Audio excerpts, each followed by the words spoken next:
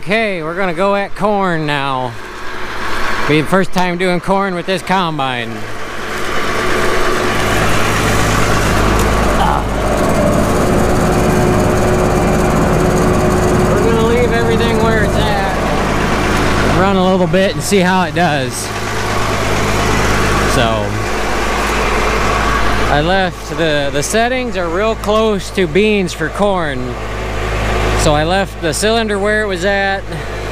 I leave the uh, chaffer and the sieve where it's at for now. Cylinder speed's the same and fan speed's whatever you want to set it at. So we will uh, give her a shot and see how she goes. Okay, here goes nothing.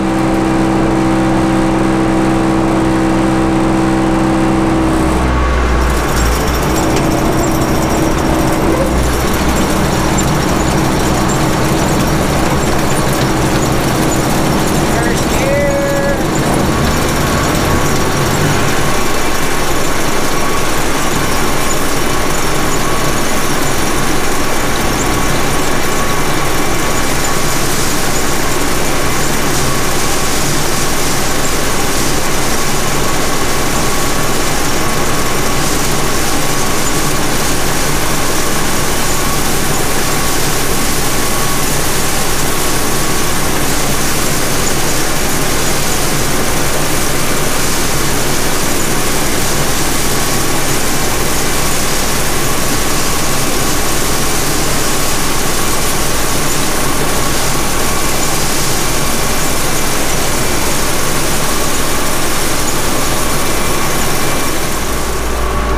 So my moisture tester says 16.7, which is good.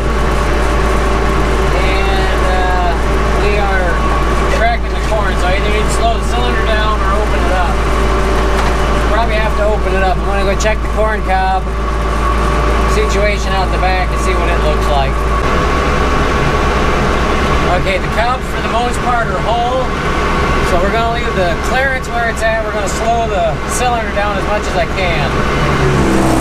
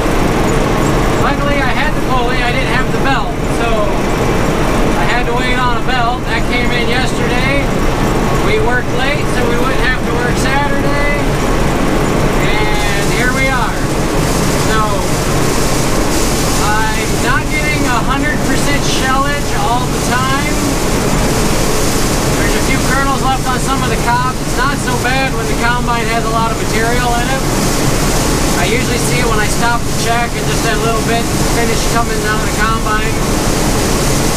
This combine only has one concave bar in it. It should have up to five or six. Because I was going to take one of those out, and I thought maybe that could have been part of the problem. It would have saved me from having to change that pulley, which was, wasn't fun. I'll show you guys how that goes. So I'm gonna have to take uh, a couple concave bars out of one of the other machines right now, it's doing a fine job.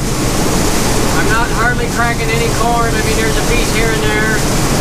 I got the cylinder speed about as slow as it'll go. The sieve, the chaffer's wide open pretty much. It's getting a good clean sample. Fan speed's up. So we're just going.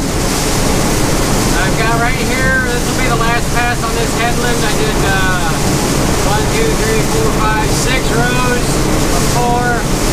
They'll be a little bit in front of us. I'm saving after my dad and nephew to combine. They want to, dad wants to try it. He's deer hunting, so that'll just be deer corn. So I'm going to take off what I can. I got uh, my uh, Killbros 400 wagon. I got a little bitty gravity wagon. Um, for some of you that don't know, the Killbros wagon will not hold 400 bushel. Even though it's a 400, they screwed their numbers up. It probably holds about 200. I had 183 bushel of beans in it. It was, it wasn't full, but it was getting there. So maybe 250 max. Now, let's see. Just in the hedgerows, I probably got a third of the grain tank full. I gotta find my rows here.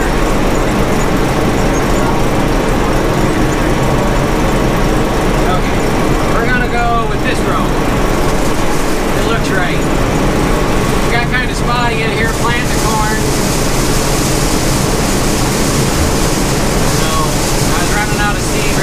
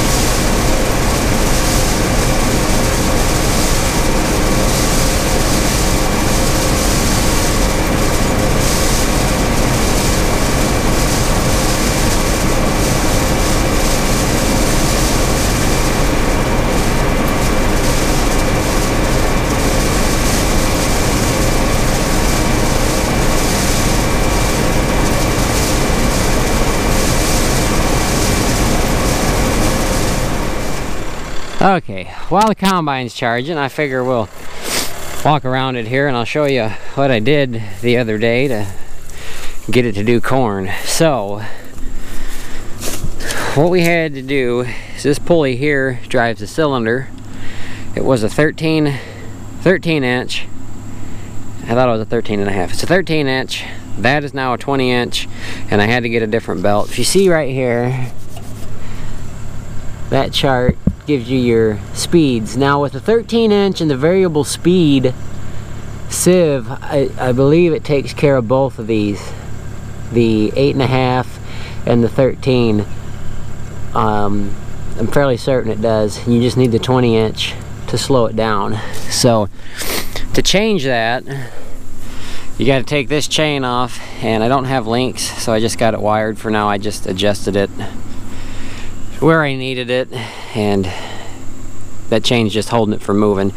But you got to take this drive belt off take it off you can take this off if you wanted to. This is your span fan speed adjustment. I can squeak the belt between there. Take this belt off, squeak it between there, take that other belt off. This is the idler pulley for it, and that's the bear to uh, get on and off, um, at least the belt. What you do is I put a piece of steel up under this bolt in the floor jack and pushed it up. A little sketchy. I need, I might make something that might actually go on there enough that I can put a bolt on, or a nut, I mean. But we did that. It slowed the cylinder speed down. We're not cracking hardly any corn now. When I was trying to get it to stop cracking corn without changing that pulley, I got under it and I opened the um, belly of it up there under the cylinder and I found out it only has one concave bar. It could have up to six. All it is is like a piece of channel iron. I'll take whatever's in the parts machine out because I haven't decided yet if I want to try to get that other combine running. Um, the corn head was on that other combine, so maybe we might try to have a combine set up for corn and one for beans. We'll see. Um, depends on if I want to get that one running, and it also depends on if uh, I can't acquire these other two I've been trying to get. So, but I need to uh, get the to get the corn to shell really good off the cob. I need another concave bar in there it's doing fairly good when the machine's not full like if I stop to get out and check it you'll see some cobs come out of the bag that have a few pieces of grain on them um, it is what it is but I've walked back through the field and I don't see any cobs with that problem they're all busted cobs and that that belt's gonna need changed when it breaks so I've been fairly lucky with the belt situation. I can get the belts from Shoup. I actually ordered this belt from uh, Tractor Place down south of us. I could probably get it from Shoup, have it in two days, but most of the drive belts, are the big drive belts are still good. So I was having problems. The alternator was slipping. It would charge when it was at an idle and you idled it up. You could watch the lights dim last night and uh, if I turned the fan on it would really bog it down. I was fighting a battery connection issue. I got that fixed and hopefully the battery will charge today and we'll be able to to go on our way not have any more issues but I got just over half the field done. And my big gravity wagon's about full. I'll take you over there and show you that in a minute. But we'll walk over here and see what kind of a job we've done. And so far I've been lucky I haven't had any rows of shame yet. So even with all them skips I had, this little bit I'm going to save for my dad and nephew to combine. I think I, I think I said all this stuff when I was in the combine, but in case it didn't come through. Now there will be a few ears you'll see on the ground up here for me turning and jockeying around, but be a good job for my dad and nephew to come through and pick them up. See, I knocked a bunch down right here. Yeah, quite a few because I had to jockey in here so I could save that. There's a big ear. Not a big ear, but one of the bigger ears. We'll just cram him in there. See if the combine will get him, but I don't know if you guys can see I don't hardly see any cobs with corn on them. There is kernels on the ground. That's from the butt shelling of the combine head. I could have closed them deck plates up, but that would have taken forever, I'm sure. So These cobs over here are the ones going through the chopper. All busted up. But probably one more grain tank full. That's all I'll have out here. I got my headlands done in this much of the field. So a little over half with the headlands and another ear corn. And there's a baby ear that flew out of the head somewhere. Some of the baby ears are flying out of the head. Some of the bigger ears are flying out of the head too. I've noticed. They'll go up and over the edge. So I brought some batteries. I'm gonna try to get you guys some outside footage today. So since things are going kind of smooth, I'm not in that big of a hurry. I just got to get this to the elevator before 6, and then I'd like to get my rye planted. So I'll show you what the corn sample looks like when I get over to the wagon. Alrighty, here's the corn. There's a few splits in there. Like that kernel there is busted and a few pieces. But this isn't quite too full hoppers. So we'll put a little bit more in this wagon and the rest in that wagon and haul her to the elevator, which is just uptown. I need to get me some new, at least two new tires for this wagon. They're making me uncomfortable. Especially with all the cracks in that one. It'd probably be the last year for them too. The front two aren't as bad. They still got tread on them at least. But I'd like to make a tarp for this wagon. Mm, in the works of maybe buying a grain truck. I don't know, we'll see. But anywho, let's get this puppy fired up and on the road here.